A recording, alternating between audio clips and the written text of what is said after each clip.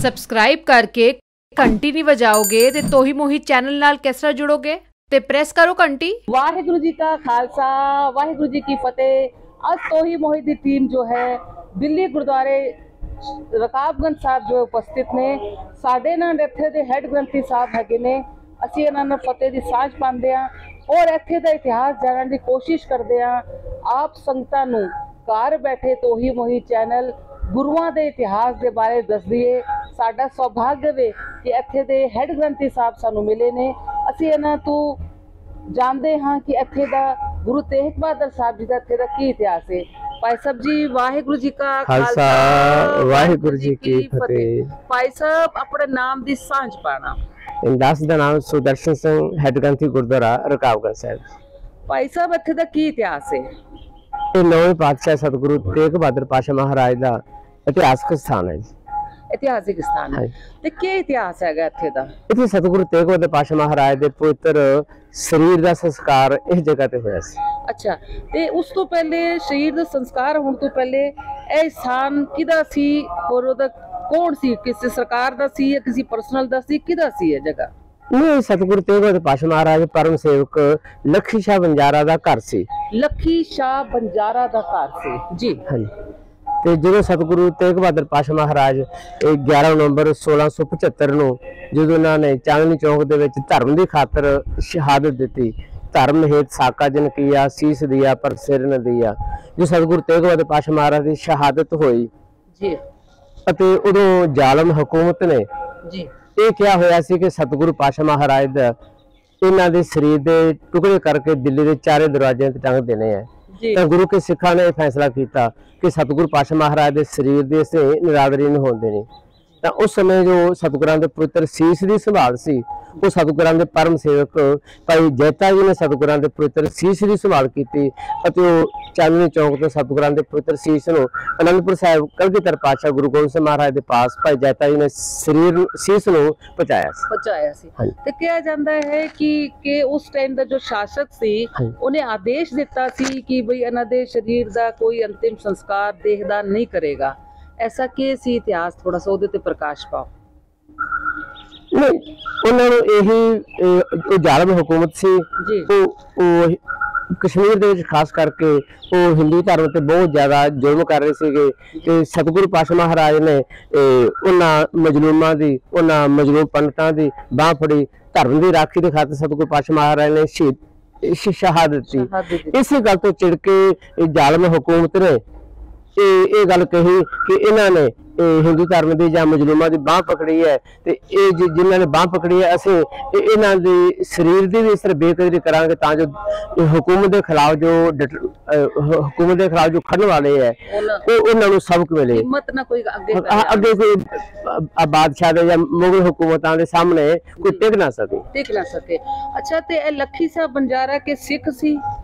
ਨਹੀਂ ਲੱਖੀ ਸ਼ਾਹ ਬੰਜਾਰਾ ਬਹੁਤ ਸਤਿਗੁਰੂ ਪਾਤਸ਼ਾਹ ਦੇ ਪਰਮ ਸਿੱਖ ਸੀਗੇ ਅੱਛਾ ਅਨੰਦ ਸਿੱਖ ਸੀ ਭਾਈ ਲੱਖੀ ਸ਼ਾਹ ਬੰਜਾਰਾ ਤੇ ਸੰਸਾਰੀ ਤੌਰ ਤੇ ਵੀ ਉਹਨਾਂ ਦਾ ਬਹੁਤ ਵਧੀਆ ਕਾਰੋਬਾਰ ਅੱਛਾ ਜੀ ਉਹਨਾਂ ਦੇ ਸਿੱਧਾ ਸੰਬੰਧ ਲਾਲ ਕਿਲੇ ਉਹਨਾਂ ਦੇ ਕਾਫਲੇ ਗੱਡਿਆਂ ਦੇ ਜਾਂਦੇ ਸੀ ਏਡੇ ਵੱਡੇ ਉਹ ਵਪਾਰੀ ਸੀ ਤੇ ਉਹਨਾਂ ਨੇ ਕਿਸ ਤਰ੍ਹਾਂ ਸੰਸਕਾਰ ਕੀਤਾ ਕਿਉਂਕਿ ਹਕੂਮਤ ਜੋ ਹੈ ਬੜੀ ਕੱਟਰ ਸੀ ਜਿਨ੍ਹਾਂ ਨੇ ਗੁਰੂ ਨੂੰ ਗੁਰੂ ਦਾ ਸ਼ੀਸ਼ ਧੜ ਤੋਂ ਅਲੱਗ ਕਰ ਦਿੱਤਾ ਤੇ ਕਿ ਉਹਨਾਂ ਨੇ ਆਰਾਮ ਨਾਲ ਗੁਰੂ ਸਾਹਿਬ ਦਾ ਸੰਸਕਾਰ ਕਰਨ ਦਿੱਤਾ ਇੱਥੇ? ਨਹੀਂ, ਜਿੱਥੇ ਭਾਈ ਲੱਖੀ ਸ਼ਾਹ ਬੰਜਾਰਾ ਗੁਰੂ ਘਰ ਦੇ ਅਨੰਦ ਸੇਵਕ ਸੀਗੇ ਜੀ। ਉੱਥੇ ਸੰਸਾਰੀ ਤੌਰ ਤੇ ਬੜੇ ਵੱਡੇ ਉਹ ਕਾਰੋਬਾਰ ਕਾਰੋਬਾਰੀ ਸੀ।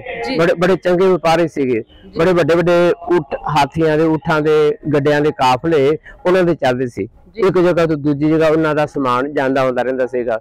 ਉਸ ਸਿਲਸਿਲੇ ਦੇ ਵਿੱਚ ਹੀ ਉਹਨਾਂ ਦਾ ਜੋ ਕਾਫਲਾ ਉਹਨਾਂ ਦੇ ਗੱਡੇ ਆਦਿਕ ਹੈ ਉਹ ਸਾਰੇ ਲਾਲ ਕਿਲੇ ਆਉਂਦੇ ਜਾਂਦੇ ਰਹਿੰਦੇ ਸੀ ਅੱਛਾ। ਤੇ ਇਹ ਉਹਨਾਂ ਦਾ ਨਿਵਾਸ ਸੀ। ਤੇ ਮੈਂ ਜਾਣਨਾ ਚਾਹ ਰਹੀ ਹਾਂ ਕਿ ਅੰਤਿਮ ਸੰਸਕਾਰ ਜੋ ਉਹਨਾਂ ਨੇ ਕੀਤਾ ਉਹਨਾਂ ਦੀ ਪਵਿੱਤਰ ਦੇਹ ਨੂੰ ਜੋ ਅਗਨੀ ਦਿੱਤੀ ਤੇ ਤਾਂ ਸ਼ਾਸਕ ਇੱਥੇ ਆਏ ਸੀ ਉਹਨਾਂ ਨੇ ਕੋਈ ਵਿਰੋਧ ਕੀਤਾ ਜਾਂ ਪੂਰਾ ਉਹਨਾਂ ਨੇ ਕੁਟਿਆ ਘਰ ਜਲਾ ਦਿੱਤਾ? ਸ਼ਾਸਕਾਂ ਨੂੰ ਪਹਿਲੇ ਖਿਚਾ ਬੰਜਾਰਾ ਨੂੰ ਕੋਈ ਪਤਾ ਨਹੀਂ ਲੱਗਣ ਦਿੱਤਾ। ਉਹਨਾਂ ਨੇ ਸਿੱਖਾਂ ਦੇ ਨਾਲ ਸਲਾਹ ਮਸ਼ਵਰਾ ਕਰਕੇ ਸਤਿਗੁਰੂ ਪਾਤਸ਼ਾਹ ਮਹਾਰਾਜ ਦੇ ਪੁੱਤਰ ਸਰੀਰ ਨੂੰ? ਸਰੀਰ ਨੂੰ ਚਾਂਦਨੀ ਚੌਕ ਤੋਂ ਆਪਣੇ ਤਿੰਨੋਂ ਬੇਟਿਆਂ ਦੀ ਸਹਾਇਤਾ ਦੇ ਨਾਲ। ਅੱਛਾ। ਉਹਨਾਂ ਦੇ ਤਿੰਨੋਂ ਬੇਟੇ ਨਾਲ ਸੀ। ਇਹ ਭਾਈ ਨਗਾਈਆ ਜੀ ਭਾਈ ਹੇਮੋ ਜੀ ਤੇ ਭਾਈ ਹਾੜੂ ਜੀ। ਤੇ ਭਾਈ ਲਖੀ ਸ਼ਾਹ ਬੰਜਾਰਾ ਆਪ। ਇਹਨਾਂ ਚਾਰਾਂ ਨੇ ਸਤਿਗੁਰੂ ਪਾਤਸ਼ਾਹ ਮਹਾਰਾਜ ਦੇ ਪਵਿੱਤਰ ਸਰੀਰ ਨੂੰ ਚੁੱਕਿਆ ਅਤੇ ਗੱਡਿਆਂ ਤੇ ਲੱਦ ਕੇ ਲੱਦ ਕੇ, ਬੜੇ ਹਾਂ। ਸਨਮਾਨ ਸਤਿਕਾਰ ਦੇ ਨਾਲ ਜੀ। ਆਪਣੇ ਇੱਥੇ ਘਰ ਲੈ ਕੇ ਆਏ। ਅੱਛਾ ਜੀ। ਤੇ ਆਪਣੇ ਘਰ ਲਿਆ ਕੇ ਤਕਰੀਬਨ ਅੱਧੀ ਰਾਤ ਤੋਂ ਬਾਅਦ ਸਤਿਗੁਰਾਂ ਦੇ ਸਰੀਰ ਦਾ ਸੰਸਕਾਰ ਕਰਕੇ ਫਿਰ ਘਰ ਨੂੰ ਹੀ ਉਹਨਾਂ ਨੇ ਅੱਗ ਲਾ ਅੱਗ ਦਿੱਤੀ। ਲਗਾ ਦਿੱਤੀ। ਅੱਛਾ। ਤਾਂ ਜੋ ਕਿਸੇ ਨੂੰ ਇਹ ਨਾ ਪਤਾ ਨਾ ਚੱਲੇ ਸ਼ੱਕ ਨਾ ਪਵੇ ਕਿਸੇ ਨੂੰ। ਅੱਛਾ। ਤੇ ਭਾਈ ਜੇਤਾ ਜੀ ਉਹਨਾਂ ਦੇ ਸ਼ੀਸ਼ ਲੈ ਕੇ ਗਏ ਸੀ ਤੇ ਕਿ ਰਾਸਤੇ 'ਚ ਭਾਈ ਜੇਤਾ ਜੀ ਨੂੰ ਕੁਝ ਤਕਲੀਫ ਆਈ। ਕਿਹੜੇ ਕਿਹੜੇ ਰਾਸਤੇ ਤੋਂ ਭਾਈ ਜੇਤਾ ਜੀ ਸ਼ਰੀਰ ਲੈ ਕੇ ਗਏ ਸੀ ਅਨੰਦਪੁਰ ਸਾਹਿਬ? ਇਹ ਜੈਤਾ ਜੀ ਬਾਗਪਤ ਦੇ ਰਸਤੇ ਗਏ ਸੀ ਬਾਗਪਤ ਤਰਾਵੜੀ ਨਬ ਸਭ ਹੁੰਦਿਆਂ ਹੋਇਆ। ਤਕਰੀਬਨ ਪੰਜ ਪੜਾ ਭਾਈ ਜੈਤਾ ਜੀ ਨੇ ਕੀਤੇ ਸੀ। ਪੰਜ ਪੜੋਗੇ ਅੱਛਾ ਜੋ ਇੱਥੇ ਪ੍ਰਕਾਸ਼ ਗੁਰੂ ਮਹਾਰਾਜ ਦਾ ਹੋਇਆ ਥੱਲੇ ਦੇ ਸਥਾਨ ਦੀ ਕੀ ਮਹਿਮਾ ਹੈ? ਬਸ ਉਹੀ ਮੇਰੇ ਸਥਾਨ ਹੈ ਜਿੱਥੇ ਸਤਿਗੁਰੂ ਪਾਸ਼ਾ ਮਹਾਰਾਜ ਦੇ ਸਰੀਰ ਦਾ ਸੰਸਕਾਰ ਹੋਇਆ ਸੀ। ਅੱਛਾ ਉਹ ਸਥਾਨ ਹੈਗਾ। ਹਾਂਜੀ। ਅੱਛਾ ਉਹ ਥੱਲੇ ਇੱਕ ਮੋਰ ਜੀ ਰੱਖੀ ਉਹਦਾ ਕੀ ਇਤਿਹਾਸ ਹੈ? ਉਹ ਪੁਰਾਤਨ ਇਤਿਹਾਸ ਪੁਰਾਤਨ ਇਤਿਹਾਸਕ ਮੋਰ ਹੈ। ਪੁਰਾਤਨ ਬਹੁਤ ਹੀ ਪੁਰਾਤਨ ਹਾਂਜੀ। ਪੁਰਾਤਨ ਹਾਂਜੀ। ਅੱਛਾ ਤੇ ਕਹਿਆ ਜਾਂਦਾ ਹੈ ਤੇ ਸੰਸਕਾਰ ਹੋਇਆ ਸੀ ਤੇ ਉਹਨਾਂ ਦੀ ਜੋ ਅਸਥੀਆਂ ਸੀ ਸਰੀਰ ਦੇ ਤੇ ਫੁੱਲਾਂ ਨੂੰ ਕਿ ਇੱਥੇ ਰੱਖਿਆ ਗਿਆ ਕਿ ਪ੍ਰਵਾਹਿਤ ਕੀਤਾ ਗਿਆ ਸੀ ਜਲ ਪ੍ਰਵਾਹ ਕੀਤਾ ਸੀ? ਅੱਜ ਵੀ ਹੈਗੀਆਂ ਨੇ ਉਹ। ਇਤਿਹਾਸ ਵਿੱਚ ਜ਼ਿਕਰ ਇਹ ਹੁੰਦਾ ਕਿ ਲਖੀ ਸਾਹਿਬ ਬੰਜਾਰਾ ਨੇ ਸਤਿਗੁਰਾਂ ਦੇ ਉਹਨਾਂ ਫੁੱਲਾਂ ਨੂੰ ਉਹਨਾਂ ਅਸਥੀਆਂ ਨੂੰ। ਇੱਕ ਇੱਕ ਕਲਸ਼ ਦੇ ਵਿੱਚ ਪਾ ਕੇ ਗਾਗਰ ਦੇ ਵਿੱਚ ਪਾ ਕੇ ਜ਼ਮੀਨ ਦੇ ਥੱਲੇ ਨੀਚੇ ਹੀ ਨੱਪ ਦਿੱਤਾ ਸੀ। ਇੱਥੇ ਦਾ ਲੱਭਦਾ ਹਾਂ- ਹਾਂਜੀ। ਅੱਛਾ ਜੀ ਅੱਛਾ ਜੀ। ਤੇ ਇੱਥੇ ਕਿਹੜਾ ਕਿਹੜਾ ਵਿਸ਼ੇਸ਼ ਪ੍ਰੋਗਰਾਮ ਹੁੰਦਾ ਹੈਗਾ? ਇਹ ਗੁਰਦੁਆਰਾ ਕਾਵਗੜ ਸਾਹਿਬ ਇੱਥੇ ਦਿੱਲੀ ਸੇ ਗੁਰਦੁਆਰਾ ਪ੍ਰਬੰਧਕ ਕਮੇਟੀ ਦਾ ਹੈ ਹੈਡ ਹਾਊਸ ਹੈ ਜੀ। ਅੱਛਾ। ਤੇ ਤਕਰੀਬਨ ਦਿੱਲੀ ਸੇ ਗੁਰਦੁਆਰਾ ਪ੍ਰਬੰਧਕ ਕਮੇਟੀ ਦਾ ਸਾਰਾ ਪ੍ਰਬੰਧ ਇਸੇ ਸਥਾਨ ਤੇ ਚੱਲਦਾ ਜੀ। ਨਹੀਂ ਇੱਥੇ ਕਿਹੜੇ ਕਿਹੜੇ ਵਿਸ਼ੇਸ਼ ਦਰਬਾਰ ਸਜਦੇ ਨੇ? ਗੁਰੂ ਤੇਗ ਬਹਾਦਰ ਸਾਹਿਬ ਦੇ ਪ੍ਰਕਾਸ਼ ਪਰਵ ਹੋ ਗਿਆ ਸ਼ਹੀਦੀ ਪਰਵ ਹੋ ਗਿਆ ਜਾਂ ਕਿਹੜੇ ਕਿਹੜੇ ਸਾਲ ਵਿੱਚ ਐਸਾ ਦੇ ਕਿਹੜੇ ਜੋੜ ਮੇਲੇ ਇੱਥੇ ਲੱਗਦੇ ਨੇ? ਲਖੀ ਸਾਹਿਬ ਬੰਜਾਰਾ ਹਾਂ। ਜਿਨ੍ਹਾਂ ਨੇ ਏਡੀ ਵੱਡੀ ਕੁਰਬਾਨੀ ਕੀਤੀ। ਹਾਂ। ਉਹਨਾਂ ਦੇ ਨਾਂ ਤੇ ਲਖੀ ਸਾਹਿਬ ਬੰਜਾਰਾ ਹਾਲ ਬਣਿਆ ਹੋਇਆ ਹੈ। ਅੱਛਾ ਜੀ। ਜਿੱਥੇ ਆਮ ਸਿੱਖ ਸੰਗਤਾਂ ਆਮ ਦਿੱਲੀ ਦੇ ਲੋਕ ਆਪਣੇ ਦੁੱਖ ਸੁੱਖ ਦੇ ਸਮਾਗਮ ਕਰਦੇ ਜੀ। ਉਸ ਤੋਂ ਇਲਾਵਾ ਤਿੰਨ ਵੱਡੇ ਗੁਰਪੁਰਬ ਇੱਥੇ ਮਨਾਏ ਜਾਂਦੇ ਹੈ ਕਿਹੜੇ ਕਿਹੜੇ ਗੁਰਪੁਰਬ ਮਨਾਏ ਜਾਂਦੇ ਨੇ? ਸਤਿਗੁਰੂ ਨਾਨਕ ਸਾਹਿਬ ਪਾਸ਼ਾ ਮਹਾਰਾਜ ਦਾ ਜੀ। ਗੁਰੂ ਤੇਗ ਬਹਾਦਰ ਪਾਸ਼ਾ ਮਹਾਰਾਜ ਜੀ ਦਾ ਜੀ। ਤੇ ਸਤਿਗੁਰੂ ਸ੍ਰੀ ਗੁਰੂ ਗੋਬਿੰਦ ਸਿੰਘ ਮਹਾਰਾਜ ਜੀ ਦਾ। ਪ੍ਰਕਾਸ਼ ਪਰਵ ਪ੍ਰਕਾਸ਼ ਪੁਰਬ ਇੱਥੇ ਮਨਾਏ ਜਾਂਦੇ ਵੱਡੇ ਦੀਵਾਨ ਦਿੱਲੀ ਦੇ ਲੈਵਲ ਤੇ ਪੂਰੀ ਦਿੱਲੀ ਦੇ ਲੈਵਲ ਤੇ ਇੱਥੇ ਸਜਦੇ ਆ। ਤੇ ਬਾਹਰ ਦੀਵਾਨ ਲੱਗਦਾ ਹੈ ਜਾਂ ਅੰਦਰ ਹੀ ਦੀਵਾਨ? ਨੂੰ ਪਹਿਲਾਂ ਲਖੀ ਸ਼ਾਨਦਾਰਾ ਹਾਲ ਬਹੁਤ ਵੱਡਾ ਹਾਲ ਹੈ ਜੀ। ਅੱਛਾ ਜੀ। ਹਜ਼ਾਰਾਂ ਸੰਗਤਾਂ ਉੱਥੇ ਬੈਠ ਸਕਦੀਆਂ ਅੱਛਾ ਉੱਥੇ ਦੀਵਾਨ ਲੱਗਦਾ ਜੀ। ਅੱਛਾ ਜੀ। ਤੇ ਆਪਣਾ ਹੋਰ ਵੀ ਕੋਈ ਖਾਸ ਅੱਛਾ ਹੋਰ ਸ਼ਹੀਦੀ ਪਰਵ ਜਾਂ ਐਸਾ ਦੇ ਕੁਝ ਇੱਥੇ ਹੁੰਦੇ ਨੇ? ਬਾਕੀ ਤਾਂ ਗੁਰਪੁਰਬ ਵਗੈਰਾ ਮਨਾਏ ਜਾਂਦੇ ਰਹੇ ਔਰ ਜੋ ਦਿੱਲੀ ਦੇ ਪੱਧਰ ਤੇ ਦਿੱਲੀ ਸੁਗਰ ਦਾ ਪ੍ਰਬੰਧਕ ਕਮੇਟੀ ਕਰਦੀ ਹੈ ਤੇ ਉਹ ਤਿੰਨ ਵੱਡੇ ਸਮਾਗਮ ਜੋ ਇੱਥੇ ਤਕਰੀਬਨ ਹੁੰਦੇ ਹਾਂ ਹਾਂਜੀ।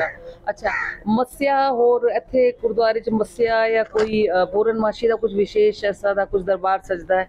ਨਹੀਂ ਉਹਨਾਂ ਨੇ ਆਮ ਗਾਹੇ ਵਗੈਰਾ ਸੰਗਤਾਂ ਇੱਥੇ ਅਨੇਕਾਂ ਤਰ੍ਹਾਂ ਦੇ ਸਮਾਗਮ ਕਰਦੀਆਂ ਰਹਿੰਦੀਆਂ ਸੰਗਤਾਂ ਵੀ ਕਰਦੀਆਂ ਰਹਿੰਦੀਆਂ ਤੇ ਦਿੱਲੀ ਗੁਰਦੁਆਰਾ ਪ੍ਰਬੰਧਕ ਕਮੇਟੀ ਵੱਲੋਂ ਵੀ ਬਹੁਤ ਸਾਰੇ ਸਮਾਗਮ ਤਕਰੀਬਨ ਇੱਥੇ ਹੁੰਦੇ ਰਹਿੰਦੇ ਹਨ। ਤੇ ਗੁਰੂ ਤੇਗ ਬਹਾਦਰ ਜੀ ਕਸ਼ਮੀਰੀ ਪੰਡਿਤ ਆਏ ਉਹਨਾਂ ਕੋਲ। ਉਹਨਾਂ ਨੇ ਗੁਜ਼ਾਰਿਸ਼ ਕੀਤੀ ਕਿ ਵੀ ਇਹ ਸਾਨੂੰ ਪ੍ਰੋਬਲਮ ਹੈ ਤੇ ਗੁਰੂ ਤੇਗ ਬਹਾਦਰ ਸਾਹਿਬ ਹੀ ਕਿਉਂ ਆਏ ਅੱਗੇ? ਉਹਨਾਂ ਨੂੰ ਕਿਨੇ ਕਿਹਨਾਂ ਨੇ ਉਹਨਾਂ ਨੂੰ ਪ੍ਰੇਰਣਾ ਦਿੱਤੀ? ਇਹ ਗੁਰੂ ਸਤਿਗੁਰੂ ਨਾਨਕ ਪਾਤਸ਼ਾਹ ਮਹਾਰਾਜ ਤੇ ਗੁਰੂ ਘਰ ਦਾ ਬਿਰਧ ਰਿਹਾ।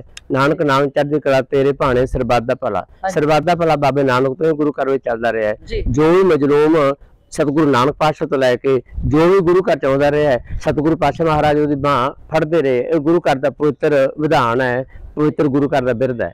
ਨਹੀਂ ਮੈਂ ਜਾਨਣਾ ਚਾਹ ਰਹੀ ਹਾਂ ਜਿਸ ਕਸ਼ਮੀਰੀ ਪੰਡਿਤ ਆਏ ਸੀ ਤੇ ਉਹਨਾਂ ਨੇ ਗੁਰੂ ਜੀ ਅੱਗੇ ਆਪਣਾ ਦੁੱਖੜਾ ਰੋਇਆ ਕਿ ਬਈ ਇਸ ਤਰ੍ਹਾਂ ਹੈਗਾ ਵੇ। ਸਾਡੀ ਬੇਟੀਆਂ ਨੂੰ ਖਰਾਬ ਕੀਤਾ ਜਾ ਰਿਹਾ ਸਾਨੂੰ ਕਨਵਰਟ ਕਰਨ ਦੀ ਕੋਸ਼ਿਸ਼ ਕੀਤੀ ਜਾ ਰਹੀ ਹੈ। ਤੇ ਕਿ ਸ਼੍ਰੀ ਗੁਰੂ ਗੋਬਿੰਦ ਸਿੰਘ ਸਾਹਿਬ ਜੋ 9 ਵਰਸ਼ੀ ਸੀ ਉਹਨਾਂ ਨੇ ਪ੍ਰੇਰਣਾ ਦਿੱਤੀ ਕਿ ਗੁਰੂ ਸਾਹਿਬ ਪਿਤਾ ਸਾਹਿਬ ਜੋ ਹੈ ਤੁਹਾਡੇ ਤੋਂ ਵੱਡਾ ਕੌਣ ਹੋ ਸਕਦਾ ਇਸ ਟਾਈਮ ਮਹਾਤਮਾ? ਉਹਨੇ ਪ੍ਰੇਰਣਾ ਨਹੀਂ ਦਿੱਤੀ। ਇਹ ਗੁਰੂ ਘਰ ਦਾ ਬਿਰਧ ਸੀ ਪਹਿਲਾਂ ਤੋਂ ਹੀ। ਵੀ ਜੋ ਸ਼ਰਨ ਆਵੇ ਤੇ ਸਖੰਡ ਲਾਵੇ ਬਿਰਧ ਸਵਾਮੀ ਸੰਦਾ। ਗੁਰੂ ਨਾਨਕ ਪਾਤਸ਼ਾਹ ਤੋਂ ਲੈ ਕੇ ਹੀ ਇਹ ਮਜਲੂਮਾਂ ਦੀ ਗਰੀਬਾਂ ਦੀ ਰੱਖਿਆ ਕੀਤੀ ਜਾਂਦੀ ਸੀ।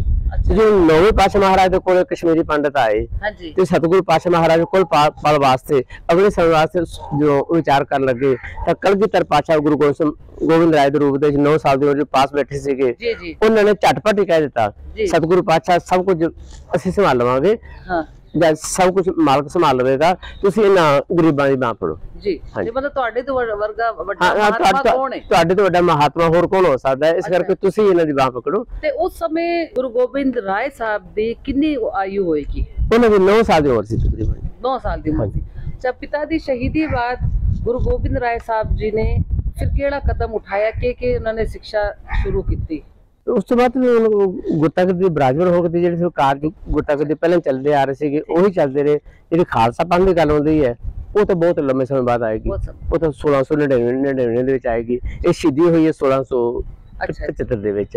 ਤੇ ਇਹ ਸੀ ਸਾਡੇ ਭਾਈ ਸਾਹਿਬ ਜੀ ਹੈਡ ਗ੍ਰੰਥੀ ਰਕਾਬਗੰਜ ਸਾਹਿਬ ਦਾ ਭਾਈ ਸਾਹਿਬ ਦਾ ਬਹੁਤ ਬਹੁਤ ਧੰਨਵਾਦ ਤੋਹੀ ਮੋਈ ਚੈਨਲ ਤੇ ਇਹਨਾਂ ਨੇ ਕਥਾ ਦੱਸੀ। ਭਾਈ ਸਾਹਿਬ ਜੀ ਤੁਹਾਡਾ ਬਹੁਤ ਬਹੁਤ ਧੰਨਵਾਦ। ਸ਼ੁਕਰੀਆ। ਸੋ ਤੋਹੀ ਮੋਈ ਚੈਨਲ ਦਾ ਮੈਂ ਧੰਨਵਾਦ ਕਰਦਾ ਜਿਹੜੇ ਸਿੱਖ ਧਰਮ ਦੀਆਂ ਸਰਬੱਤ ਦੇ ਭਲੇ ਦੀਆਂ ਜੋ ਗਥਾਵਾਂ ਹੈ ਕਹਾਣੀਆਂ ਇਤਿਹਾਸ ਹੈ ਉਹਨੂੰ ਸੰਗਤਾਂ ਦੇ ਸਾਹਮਣੇ ਲੈ ਕੇ ਆਉਂਦੇ ਹੈ। ਮੈਂ ਸਿੱਖ ਨੌਜਵਾਨਾਂ ਨੂੰ ਇਹ ਗੁਜ਼ਾਰਿਸ਼ ਕਰਾਂਗਾ, ਬੇਨਤੀ ਕਰਾਂਗਾ ਕਿ ਸਿੱਖ ਧਰਮ ਬਹੁਤ ਮਹਾਨ ਹੈ, ਜਿੱਥੇ ਸਤਿਗੁਰੂ ਨਾਨਕ ਪਾਤਸ਼ਾਹ ਮਹਾਰਾਜ ਨੇ ਨਾਨਕ ਨਾਮ ਚੜ੍ਹਦੀ ਕਲਾ, ਤੇਰੇ ਪਾਣੇ ਸਰਬੱਤ ਭਲਾ ਸੰਦੇਸ਼ ਦਿੱਤਾ ਹੈ। ਕਿਰਤ ਕਰੋ, ਨਾਮ ਜਪੋ, ਵੰਡ ਛਕੋ ਦਾ ਸੰਦੇਸ਼ ਸਤਿਗੁਰੂ ਨਾਨਕ ਪਾਤਸ਼ਾਹ ਮਹਾਰਾਜ ਨੇ ਦਿੱਤਾ ਹੈ। ਦਸ ਗੁਰੂ ਸਾਹਿਬਾਨ ਨੇ ਇਸ ਤੇ ਇਹ ਪੈ- ਪੈਰਵੀ ਕੀਤੀ ਹੈ। ਸੋ ਇਹ ਮਹਾਨ ਧਰਮ ਹੈ ਤੇ ਮੈਂ ਬੱਚਿਆਂ ਨੂੰ ਗੁਜ਼ਾਰਿਸ਼ ਕਰਾਂਗਾ ਕਿ ਬੱਚੇ ਗੁਰਬਾਣੀ ਦੇ ਨਾਲ, ਗੁਰਸਿੱਖੀ ਦੇ ਨਾਲ ਜੁੜਨ। ਆਪ ਸਾਬਤ ਸੂਰਤ ਰਹਿਣ ਆਪਣੇ ਕੇਸਾਂ ਦੀ ਸੰਭਾਲ ਕਰਨ ਅਤੇ ਕੇਸਾਂ ਦੀ ਸੰਭਾਲ ਕਰਦਿਆਂ ਹੋਇਆਂ ਸਿੱਖੀ ਦੇ ਨਾਲ ਜੁੜਨ ਉੱਥੇ ਜੋ ਗੁਰਮੁਖੀ ਦੀ ਅੱਜ ਬਹੁਤ ਜੋ ਲੋੜ ਹੈ। ਅਸੀਂ ਆਪਣੇ ਪੰਜਾਬੀ ਜੋ ਸਾਡੀ ਬੋਲੀ ਹੈ, ਇਹਦੀ ਲਿਪੀ ਗੁਰਮੁਖੀ ਹੈ। ਅਸੀਂ ਆਪਣੇ ਘਰਾਂ ਦੇ ਵਿੱਚ ਪੰਜਾਬੀ ਬੋਲੀਏ, ਗੁਰਮੁਖੀ ਲਿਪੀ ਜੇ ਅਸੀਂ ਸਿੱਖਣ ਦਾ ਯਤਨ ਕਰੀਏ ਤੁਹਾਨੂੰ ਗੁਰਮੁਖੀ ਲਿਪੀ ਦੇ ਰਾਹੀਂ ਅਸੀਂ ਬਾਣੀ ਦੇ ਨਾਲ ਜੁੜ ਸਕਦੇ ਹਾਂ। ਤੇ ਬਾਣੀ ਇੱਕ ਐਸੀ ਚੀਜ਼ ਹੈ ਧੁਰ ਕੀ ਬਾਣੀ ਆਈ ਤੇ ਸਗਲੀ ਚਿੰਤ ਮਿਟਾਈ। ਬਾਣੀ ਸਾਡੀਆਂ ਸਾਰੀਆਂ ਚਿੰਤਾਵਾਂ, ਸਾਰੇ ਦੁੱਖਾਂ ਨੂੰ ਮਿਟਾਉਣ ਵਾਲੀ, ਬਾਣੀ ਸਾਡੇ ਜੀਵਨ ਦੀ ਅਗਵਾਈ ਕਰਨ ਵਾਲੀ ਹੈ। ਸੋ ਇੱਕ ਵਾਰ ਫਿਰ ਮੈਂ ਤੁਸੀਂ ਮੇਰੇ ਚੈਨਲ ਦਾ ਧੰਨਵਾਦ ਕਰਦਾ ਜੋ ਆਪ ਜੀ ਤੱਕ ਇਹੋ ਜਿਹੀਆਂ ਅੱਛੀਆਂ ਅੱਛੀਆਂ ਵੀਡੀਓ ਇਹ ਜੋ ਚੈਨਲ ਪਹੁੰਚਾ ਰਿਹਾ ਹੈ। ਵਾਹਿਗੁਰੂ ਜੀ ਕਾ ਖਾਲਸਾ, ਵਾਹਿਗੁਰੂ ਜੀ ਕੀ ਫਤਿਹ।